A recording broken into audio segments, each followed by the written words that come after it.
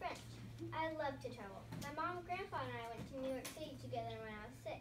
Our hotel is right around the corner from Times Square. We walked or took taxis all over town. Mama, mom and I went all the way to the top of the Empire State Building.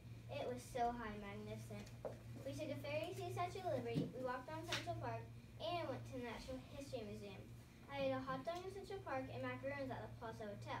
We also went to a lot of fun shops, including the M&M store, my favorite. One night, we even saw the Broadway musical Cinderella. Traveling relates to all four H's because learning different languages is good for your brain and extends your vocabulary.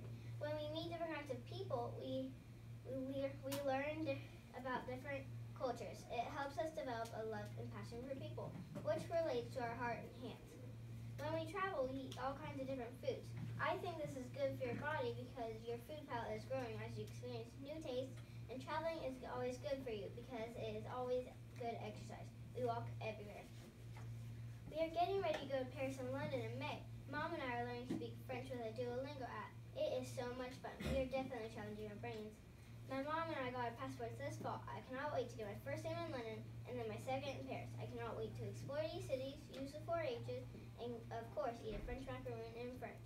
Au revoir.